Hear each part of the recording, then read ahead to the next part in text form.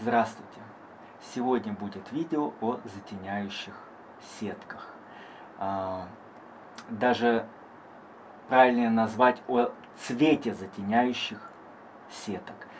А, у нас есть несколько видео, которые я снимал, наверное, года два или три назад. Там я показывал целые системы затенения зелеными, красными сетками, а, в режиме э, жалюзей, я ссылочки на эти видео поставлю, вы можете посмотреть. Сегодня я хочу обратить внимание на цвет затеняющей сетки.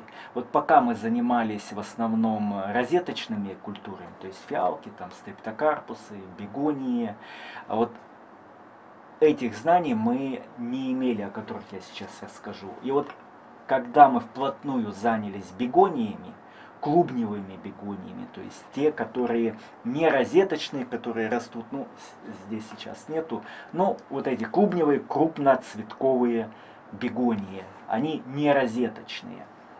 Вот э, с ними появилась проблема. Под красной и зеленой сеткой эти бегонии начали сильно вытягиваться. И получается, что вот даже те сетки, которые рекламируют специально для растений, это красные сетки, они хороши для выращивания какой-то зелени, огурцов, помидор, там, даже для розеточных э, растений прекрасно они подходят.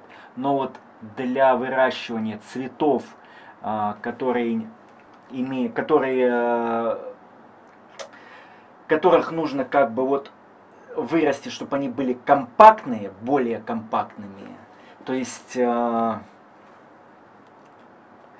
уменьшить их линейный рост. Вот с такими растениями нельзя использовать, нежелательно использовать ни красную, ни зеленую сетку. Вот под красной вообще сумасшедшее вытягивание происходит. И цветоносов, и междоузлей. А под зеленой сеткой тоже происходит вытягивание, но меньше. И самый лучший результат получается чисто под белой сеткой.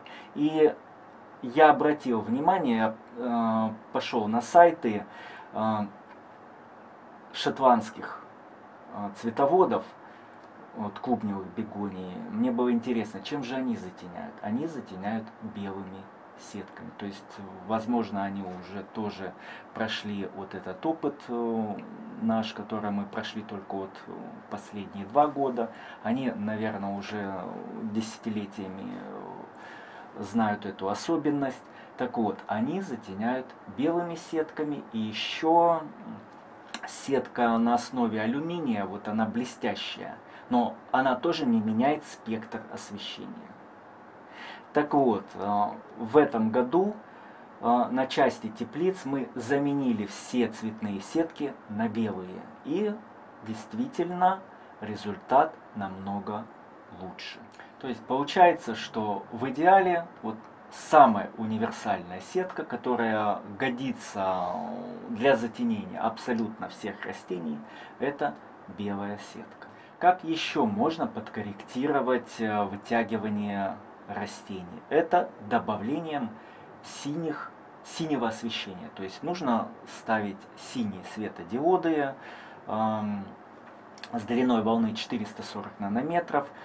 Это мы тоже испробовали, и это тоже в принципе работает. Или можно использовать лампы холодного спектра, то есть самые холодные, там где вот э, синего света больше всего. Напишите, пожалуйста, чем вы затеняете и какие наблюдения вы имеете.